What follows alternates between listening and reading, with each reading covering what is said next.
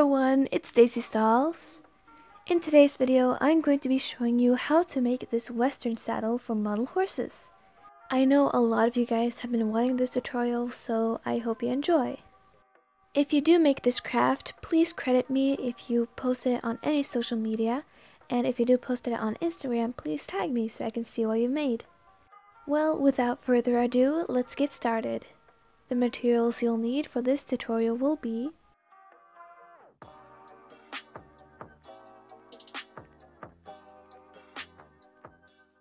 start off, I took some thick paper and cut off a piece like this, and this is going to be one half of the saddle tree. Then I placed it on top of a sheet of clay. I'm using paper clay here, but I would recommend epoxy sculpt. And I traced around it with a needle. And then I cut it out following the lines. Then I wrapped some plastic wrap around the belly of the horse to protect it. So I cut out two of those saddle tree shapes and then laid them out on the horse and then connected them at the top with a small snake of clay. I formed a horn-like shape out of wire and then stabbed it into the gullet. Now I cut out a shape like this out of a soda can and then glued it onto the saddle tree. And I'm going to be honest, you can probably use just more clay to get a smoother result. But since I'm using paper clay, I thought it would make it more sturdy. Now I cut this kind of banana shape out of a thick piece of leather. I shaved it down with a blade and then attached it to the saddle. But I ended up using clay instead for a smoother result. I cut out a bigger banana shape out of clay and then attached it to the back of the saddle to make the cantle. Then I took a thin piece of leather and attached it to the horn, making sure not too much glue was spilling out. Using another sheet of leather, I cut a small hole into it and then gently thread it over the horn. Then I cut, folded, and glued it in place around the gullet. Now taking a darker leather, I cut three slits in it like this. Then I glued it onto the seat of the saddle tree. Then I glued the flaps that we just cut down into the gap there. Then I cut a bunch of small cuts all along the edge of the cantle and then glue them down. Then glue a, another piece of leather to the back of the cantle and cut along the edge. Then cut a piece like this that is the same curve as the cantle. Then fold it over. This part can be a little bit tricky because it is a curve, but just do your best. Then glue it onto the back edge of the cantle. And this is what we have so far. Then I marked out a shape like this on a piece of leather that is the length from the gullet to the edge of the cantle. And basically it should fit the curvature of the saddle. Then when I had made sure it fits to the saddle, I made a line like this and cut on the line. And then make one for the opposite side too.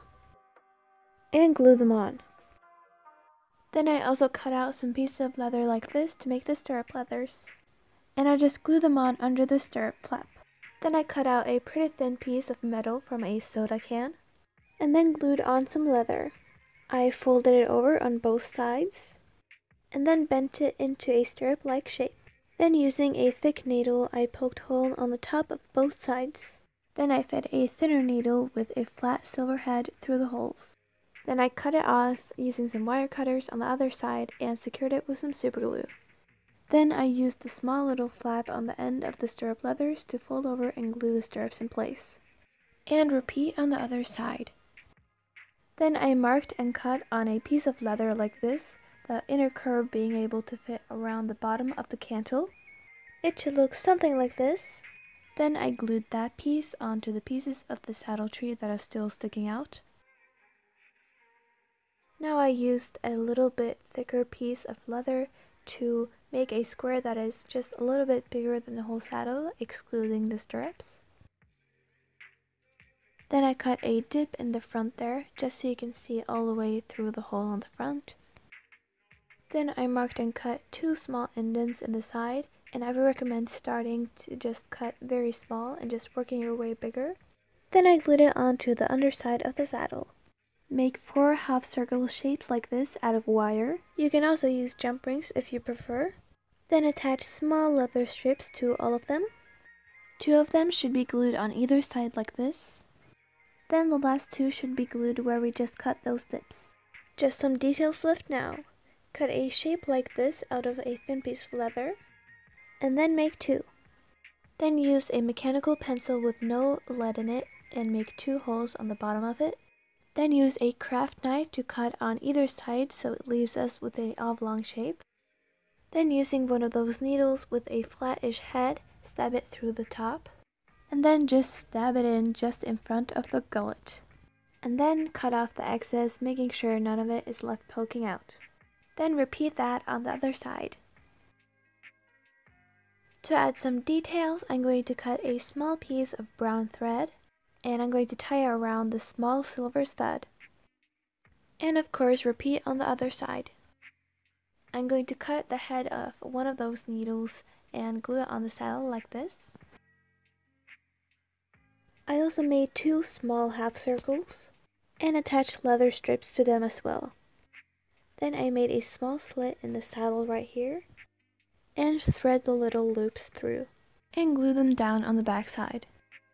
Now I'm going to be using some very thin wool colored felt which I made by mixing yellow and brown acrylic paint, mix it, mixing it in water, dunking some felt in it, letting it dry, and then separating it to make a thin layer of it. Then I glued it onto the underside of the saddle to conceal all the ugly parts. I cut a pretty thick strap of leather, and again I used the mechanical pencil to add six holes.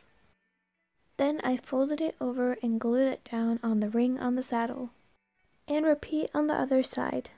Now to make the flank cinch, I'm going to make two squares out of wire. Then I'm also going to make a very very small loop on the end of a short length of wire. And make that two.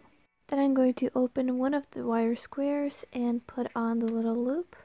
Close it and then repeat that on the other one. Now I'm going to cut a strip of leather that fits a little bit over halfway around the horse's flank. Then I'm going to fold over the tip and then cut a very very small slit in the middle. Then put the small wire piece through the slit and fold and glue it down. And repeat on the other side. I'm also going to glue a thin piece of leather just under the buckle to act as a strap holder. Then you can attach the flank cinch to the flank billet just as you would on a real saddle. Make two more of these billets and attach them to the ring under the stirrup. And of course repeat on the other side. Make two more of those buckles, just making half circles instead of squares. And then also make three of these small half circle shapes. I took six pieces of thread that are a little bit longer than I want my finished cinch to be. Then I'm going to take a thin piece of leather and thread one of the small half circle shapes on it. Then I glue that on the middle of the threads, making sure the half circle is in the middle. Then I thread the two last half circle shapes on either side of the leather, and then fold and glue down the leather on the wrong side. And it should look like this. Then thread on the buckle, making sure the tongue of the buckle is in the middle so it has three threads on either side of it. Then cut, fold, and glue down the threads on the wrong side again. And repeat on the other side. Then to make a tassel for the girth, I used black and brown thread and collected them on the top with a jump ring. Then I wrapped some thinner thread around the top. Sorry for the blurry picture, but I just cut it off at a nice length. And it should look something like this. Then I attached it to the middle jump ring on the cinch. Tighten the cinch and it's done. I really hope you guys enjoyed this tutorial. And I'm sorry if this was too hard to follow.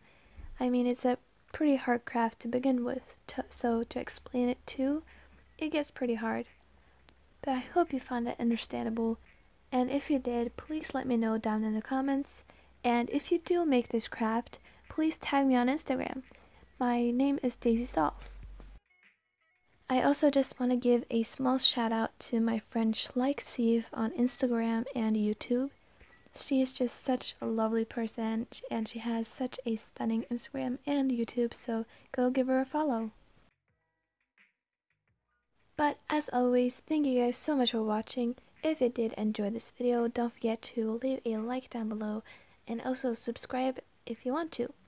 Also, if you have any video ideas you would like to see in the future, comment them down below too. Bye!